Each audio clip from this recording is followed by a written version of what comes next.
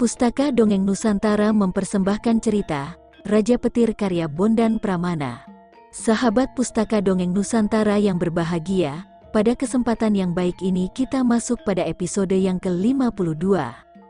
Selamat mendengarkan.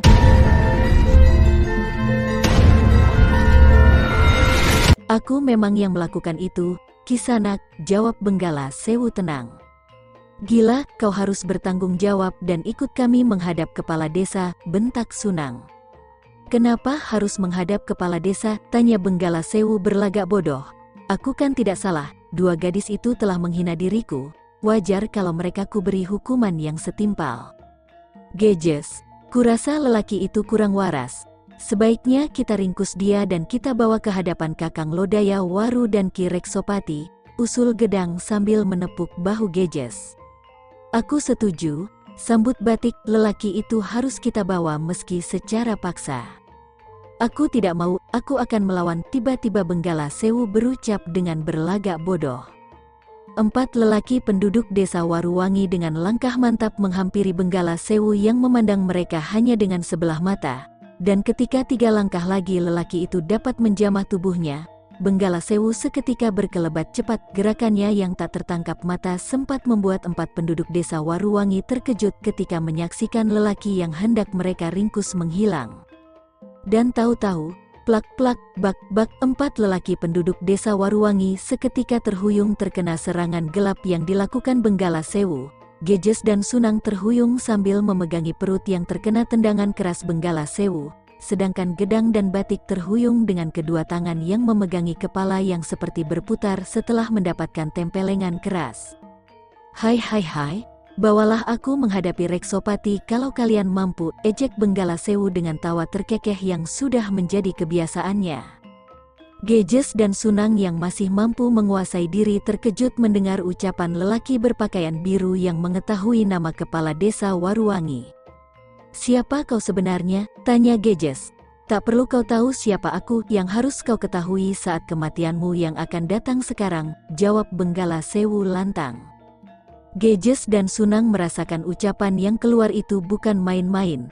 Rasa ketakutan pun semakin menguasai hati mereka, terlebih ketika kaki Benggala Sewu melangkah menghampiri mereka.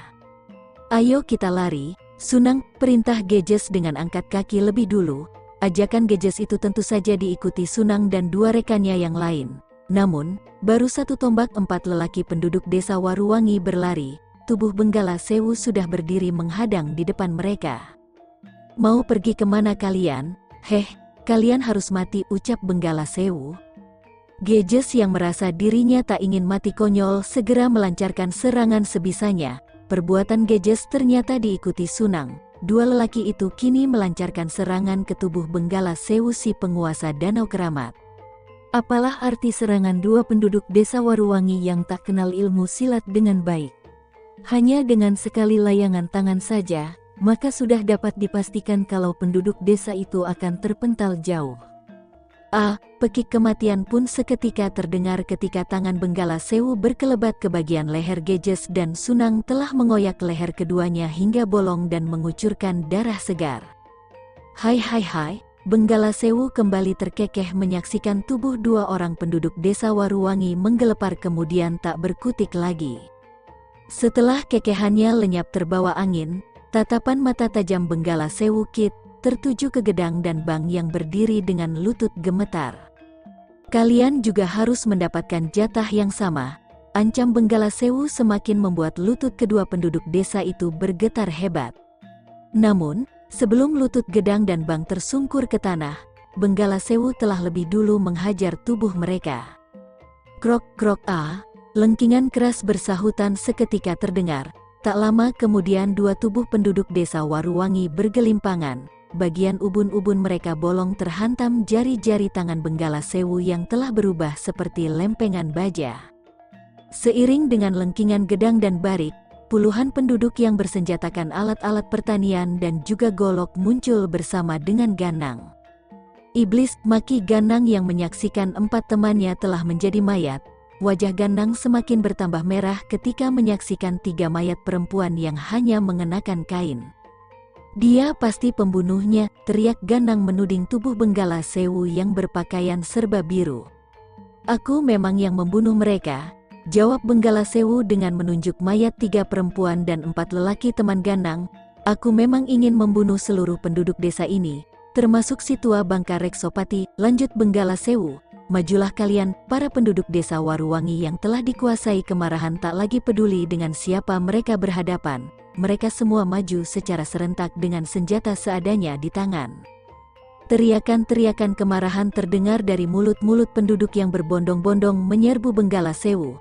Para penduduk yang sebagian besar petani, tidak menguasai ilmu silat, Benggala Sewu lelaki yang berjuluk penguasa Danau Keramat hanya menanggapi serbuan penduduk dengan senyum terkulum. Namun, Ketika para penduduk mendekat, Benggala Sewu segera bergerak cepat mengibaskan tangannya ke sana kemari. Plak-plak krok a, dua orang penduduk yang bersenjata cangkul seketika terjungkal ketika bagian kepalanya terhajar sambaran tangan Benggala Sewu. Pada bagian ubun-ubun dan pelipis mengeluarkan darah segar, penduduk desa Waruwangi yang telanjur maju harus pula mengalami nasib yang sama. Tendangan kaki Benggala Sewu yang dialiri tenaga dalam tinggi mendarat telak di bagian perut, dada, dan kepala. Ah, ah, Huuk, para penduduk desa yang tak mengerti ilmu silat itu berpentalan jauh bagai ditiup angin puting beliung. Pekik kematian pun terdengar saling bersahutan. Hai hai hai, Benggala Sewu terkekeh melihat penduduk yang berjumlah 10 orang terbantai hanya dengan beberapa gebrakan, Kini di hadapannya tinggal satu orang penduduk yang masih hidup, lelaki itu berdiri dengan lutut gemetar ketakutan. Jangan bunuh aku, anak muda, jangan bunuh aku, ratap lelaki berusia sekitar 40 tahun dengan telapak tangannya rapat diletakkan di depan dada, kepalanya tertunduk di hadapan Benggala Sewu. Aku tidak akan membunuhmu, tua bangka, hardik Benggala Sewu sambil melangkah menghampiri salah satu mayat yang tergeletak. Brett dengan gerakan cepat dan kasar Benggala Sewu menyobek pakaian lelaki yang telah menjadi mayat, sobekan pakaian itu kemudian digeletakkan di tanah. Klep, seorang penduduk desa Waruwangi yang masih hidup terbelalak kaget ketika dengan bengisnya Benggala Sewu membenamkan jari telunjuknya di leher lelaki yang telah menjadi mayat penduduk itu pun menyaksikan bagaimana Benggala menuliskan beberapa kalimat dengan telunjuknya yang berlumuran darah. Beruntung kau masih kuberi hidup, sentak Benggala Sewu Pongah. Sekarang berikan sobekan kain ini pada Reksopati, cepat. Tanpa membuang-buang waktu, lelaki itu segera pergi dengan berlari sekencang-kencangnya, tanpa mempedulikan nafasnya yang memburu keras. Hai hai hai Benggala Sewu si penguasa Danau Keramat kembali terkekeh menyaksikan seorang penduduk yang berlari seperti dikejar hantu. Kireksopati murka bukan kepalang ketika membaca surat pada secarik kain yang dibawa seorang warganya, terlebih ketika mendengar penuturan lelaki pembawa surat itu, wajahnya merah padam dan matanya berkaca-kaca. Belasan penduduk telah menjadi mayat di kali baru sana, Ki, ucap lelaki pembawa surat si penguasa Danau Keramat. Biadab, maki Kireksopati geram, Surat yang ditulis dengan darah pada sesobek kain segera diberikan pada Raja Petir. Bacalah, ucap Ki Reksopati agak keras. Jaka segera membaca tulisan darah itu, Reksopati kutunggu kau bersama dua orang tamumu di Kali Batu, penguasa Danau Keramat. Kita harus segera menemuinya, Ki usul Jaka setelah selesai membaca surat bertulis darah merah itu.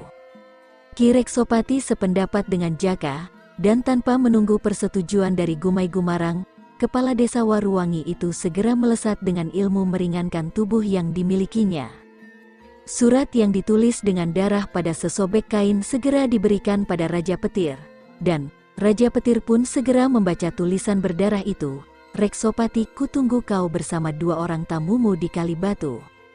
Penguasa Danau Keramat, Gumai Gumarang memandang Jaka ketika menyaksikan apa yang dilakukan Ki Reksopati. Adi Reksopati memang seorang kepala desa yang bertanggung jawab.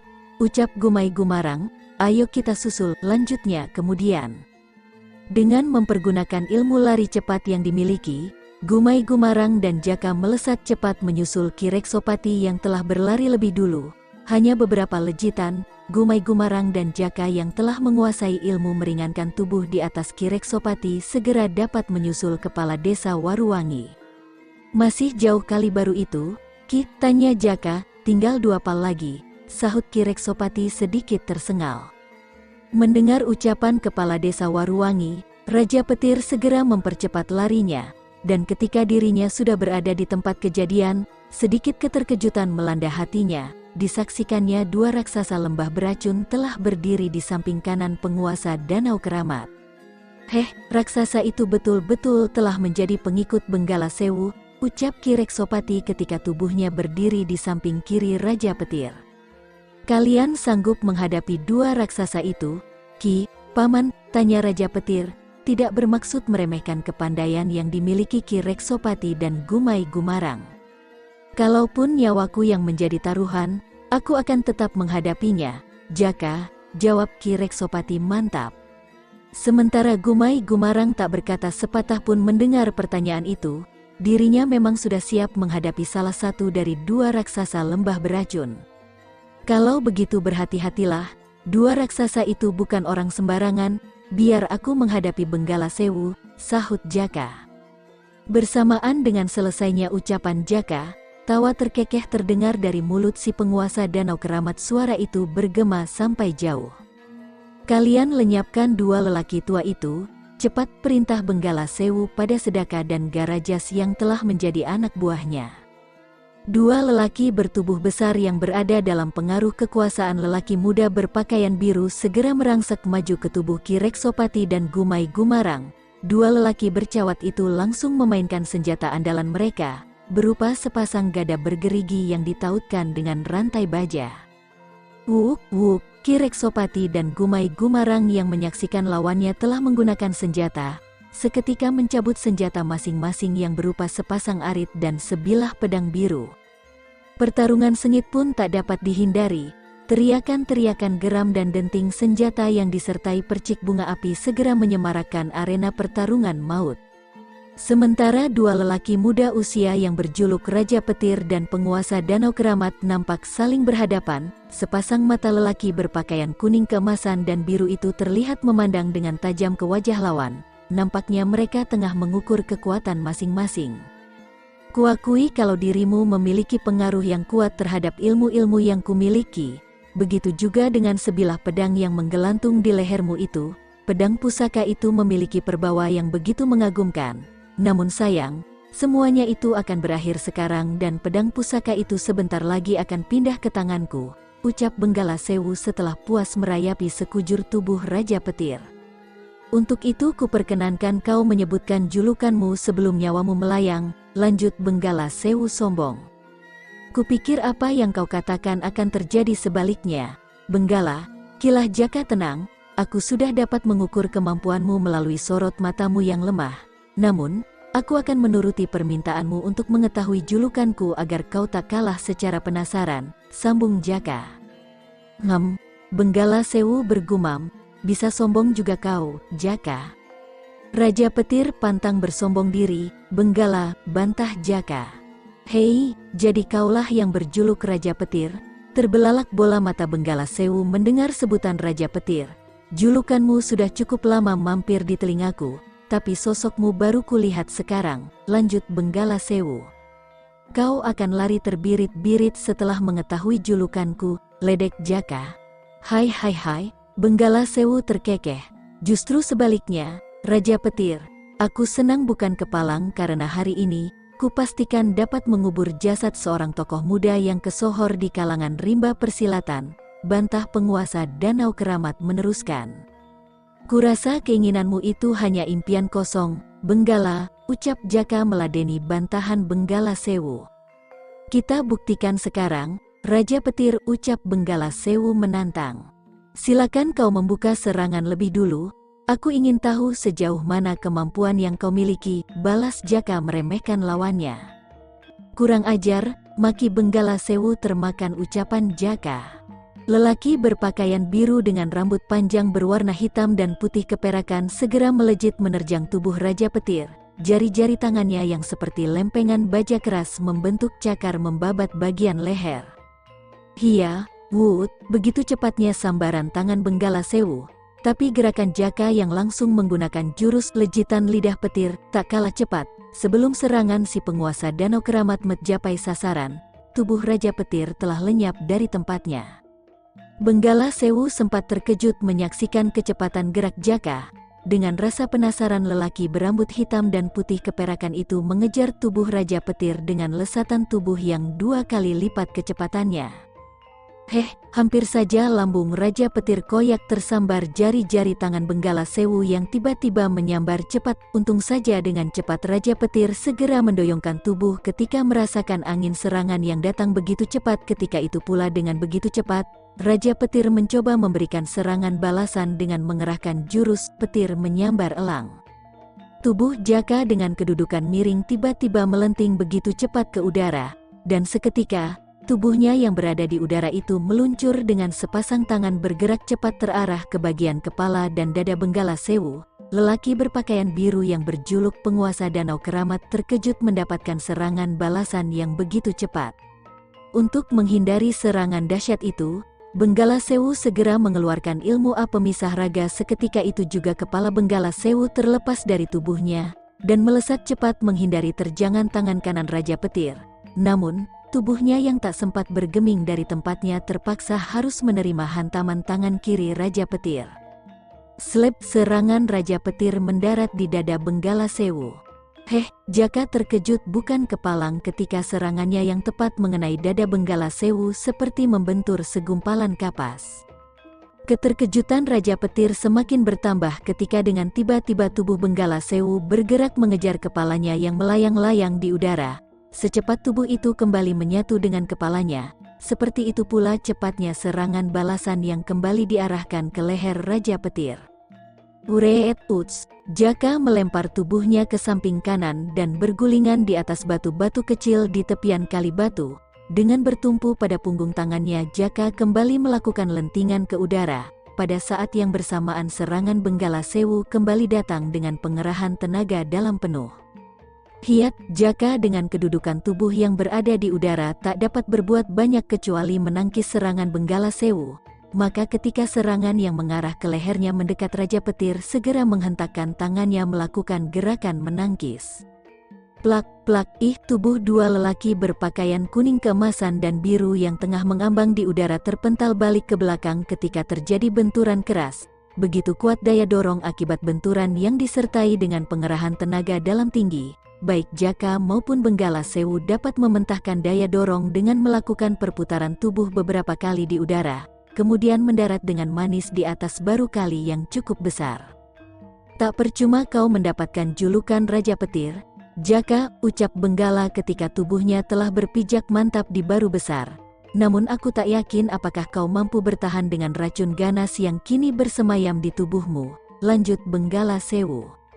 Racun ganas macam apa yang kau miliki? Benggala, sedikit pun aku tak merasa racun milikmu, bantah Jaka.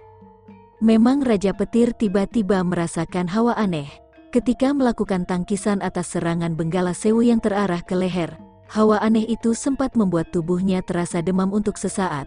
Tapi pada saat berikutnya, Raja Petir merasakan tubuhnya kembali sehat seperti sedia kala. Ternyata tubuh Raja Petir mampu bertahan dari racun dari Benggala Sewu. Lelaki berpakaian biru yang berjuluk penguasa Danau Keramat nampak terkejut mengetahui daya tahan tubuh Raja Petir yang tak terpengaruh racun ganas yang dialirkan lewat jurus racun biru Danau Keramat.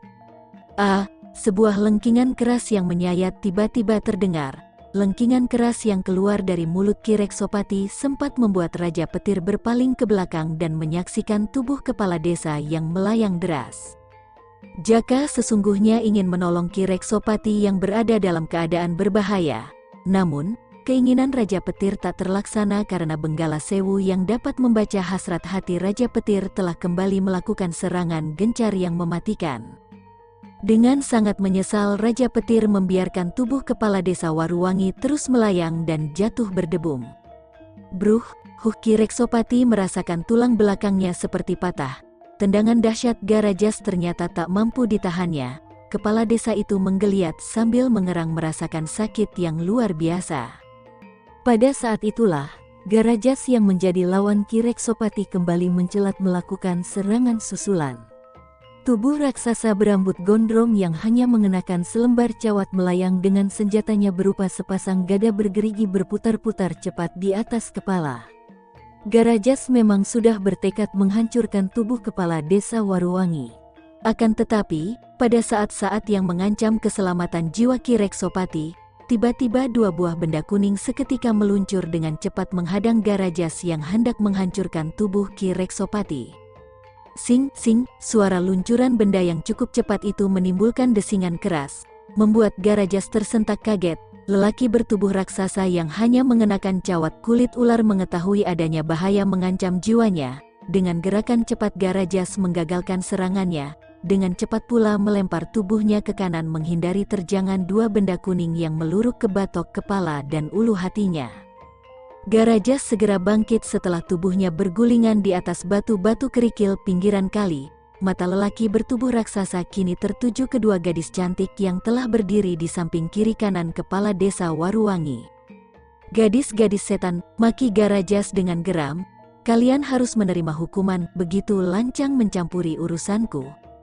Hukuman apa yang akan kau berikan padaku? Lelaki bejat, tanya gadis cantik berpakaian warna jingga agak ketus. Hukuman mati, jawab Garajas Mangkel. Gadis cantik berpakaian jingga yang tak lain adalah Mayang Sutra nampak tersenyum mendengar ucapan Garajas. Seharusnya kau yang dihukum mampus atas perbuatanmu yang kejam itu, raksasa jelek, ledek Mayang Sutra. Kurang ajar, maki Garajas mendengar dirinya dicaci sebagai raksasa jelek, kau memang harus betul-betul dibikin mampus. Dengan kemarahan yang meletup-letup, Garajas mencelat menerjang Mayang Sutera, peki kemarahan menyertai serangan Garajas yang disertai dengan pengerahan tenaga dalam tinggi. Hiat Mayang Sutera, gadis cantik bergelar Dewi Payung Emas tak membiarkan serangan yang dilakukan Garajas, sedikitpun Mayang Sutera tak ingin tubuh raksasa bercawat itu menjamahnya, dengan gerakan cepat yang disertai pengerahan tenaga dalam, Mayang Sutera kembali melepas gelang-gelang emas di tangannya. Siing, siing, dua benda bundar kembali meluruk deras ke tubuh Garajas yang tengah melayang di udara. Lelaki bertubuh raksasa itu sebisanya menggerakkan sepasang gadanya untuk menangkis serangan gelang-gelang emas Mayang Sutera. Tetapi, heh, Garajas terbelalak kaget ketika menyaksikan sepasang benda yang meluncur itu seperti memiliki mata. Dua benda bundar itu mampu menghindar ketika gada bergerigi bergerak menangkis. Uts, dengan sangat terpaksa Garajas kembali melempar tubuhnya ke kanan dan bergulingan di tanah berbatu-batu kerikil. Sebenarnya pada saat Garajas bergulingan, Mayang Sutera bisa saja berkelebat cepat untuk memberikan serangan susulan, namun tak dilakukan karena gadis berpakaian jingga itu menginginkan pertarungan berlangsung jujur, tanpa ada gerakan membokong dari belakang. Lain halnya dengan Garajas yang ingin memenangkan pertarungan ini dengan berbagai cara, Ketika tubuh raksasanya kembali bangkit, Garajas langsung mengerahkan jurus-jurus beracunnya yang bernama Badai Lembah Beracun.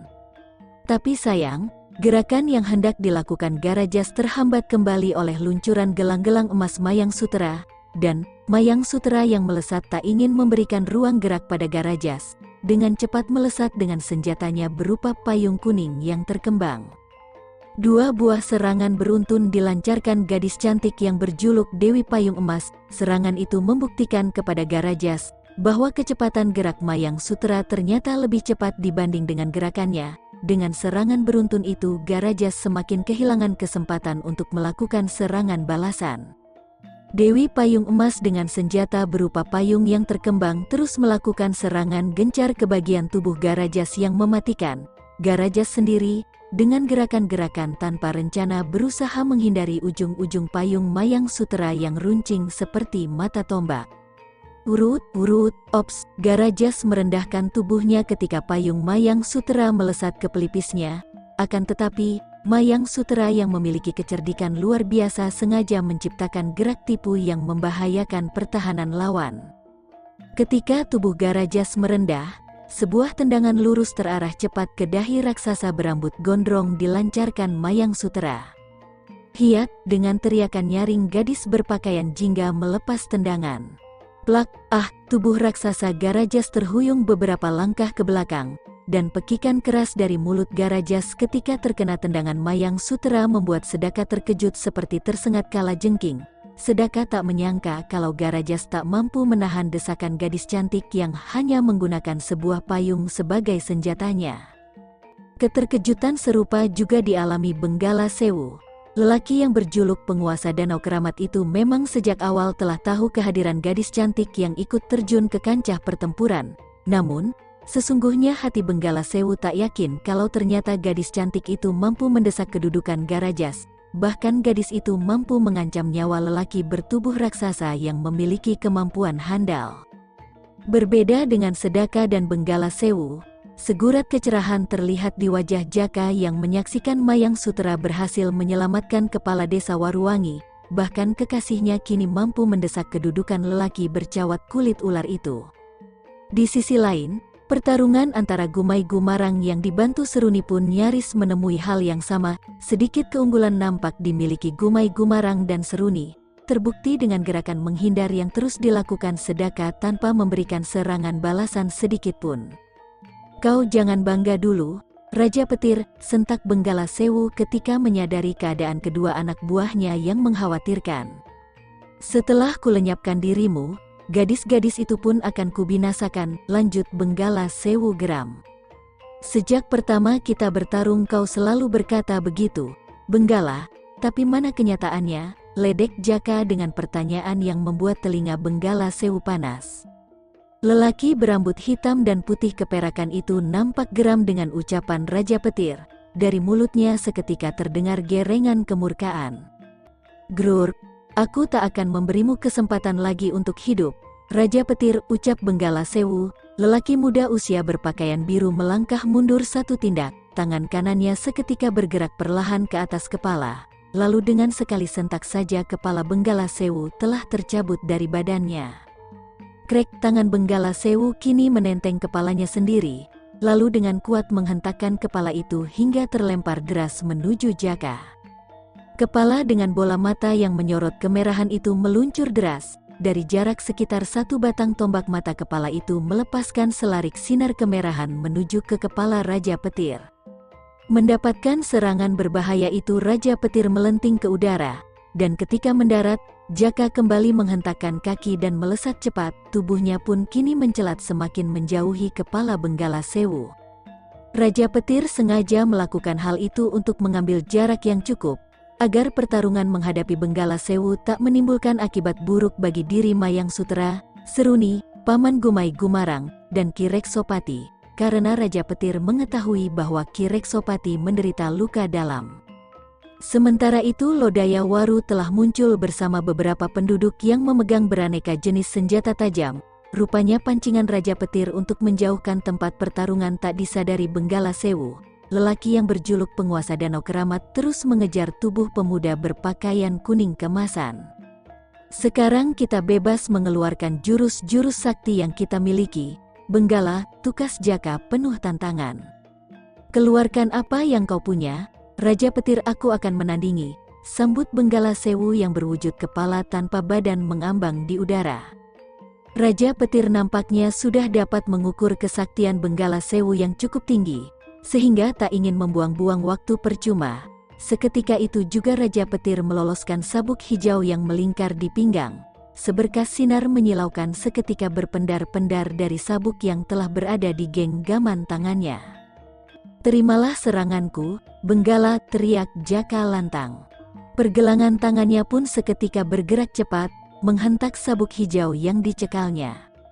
Hih, cetar, selarik sinar keperakan mencelat dari ujung sabuk yang berkelebat menimbulkan bunyi seperti guntur. Sinar keperakan seperti sambaran petir itu meluruk dengan cepat ke batok kepala Benggala Sewu.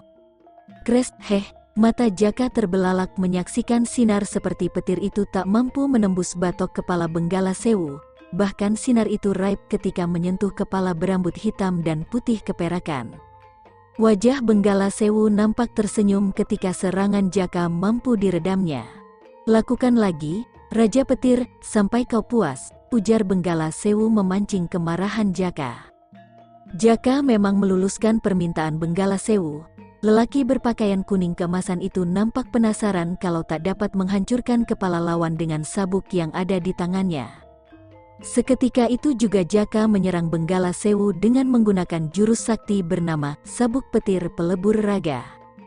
Pergelangan tangan Jaka dengan jari-jarinya yang mencekal sabuk hijau kembali bergerak cepat. Hih, sekali lagi sabuk hijau Raja Petir menyambar dengan kecepatan kilat. Cetaar, gelaar, Jaka kembali terkejut menyaksikan kenyataan yang dihadapinya disaksikannya sendiri betapa dahsyat ledakan akibat benturan seleret sinar keperakan yang menyambar kepala Benggala Sewu. Namun kepala yang melayang-layang di udara itu masih tetap utuh seperti sedia kala. Bahkan, di wajah Benggala Sewu kembali terukir seulas senyum mengejek. Ilmu iblis, maki Jaka dalam hati. Kenapa berhenti, Raja Petir? Tanya Benggala Sewu angkuh, apa kau ingin aku yang gantian menyerang? Nah, bersiaplah. Wujud Benggala Sewu yang hanya berupa kepala berlumuran darah berkelebat cepat, sementara Jaka kembali bersiap melindungi dirinya dengan sebuah ajian yang bernama Aji Kukuh Karang, seketika bagian kepala hingga dada dan lutut hingga ujung kaki Raja Petir terselimuti sinar kuning kemasan. Menyaksikan sinar kuning keemasan menyelimuti tubuh Jaka, tanpa ragu kepala Benggala Sewu terus melanjutkan serangannya, bola matanya menyorot merah menciptakan dua larik sinar merah, Sinar merah itu meluncur cepat ke kepala Jaka, sedangkan mulutnya yang menganga lebar mengeluarkan api berkobar dan melesat ke dada Raja Petir. Begitu cepat dua serangan beruntun dilakukan Benggala Sewu, dan seketika sinar merah yang disusul semburan api menerjang bagian tubuh Jaka. Jerebes bres dua serangan beruntun yang dilancarkan oleh Benggala Sewu dapat dipatahkan, Aji Kukuh Karang yang digunakan Raja Petir ternyata mampu menangkis serangan dahsyat Benggala Sewu. Bahkan serangan balasan Raja Petir dengan meloloskan pedang pusaka dari lehernya membuat mata Benggala Sewu terbelalak ngeri. Pamor pedang petir yang tergenggam di tangan Jaka nampak dialiri sebentuk kekuatan batin, sebuah kekuatan yang membuat penampilan pedang pusaka itu begitu menakjubkan. Wujud pedang pusaka terlihat seperti lidah petir yang hidup dan bergerak-gerak. Ketika Raja Petir mengangkat tinggi-tinggi pedang pusaka, langit yang semula terang berderang sekonyong-konyong berubah gelap, suara gemuruh saling bersahutan terdengar dari kejauhan. Bersamaan lenyapnya suara gemuruh di kejauhan, lenyap pula kegelapan yang menyelimuti langit, seketika itu juga dengan cepat Jaka melakukan gerakan membacok ke arah kepala Benggala Sewu yang masih terkesima menyaksikan perbawa pedang petir. Ternyata, Benggala Sewu masih tetap berusaha menghindari serangan Jaka yang begitu cepat dan tiba-tiba.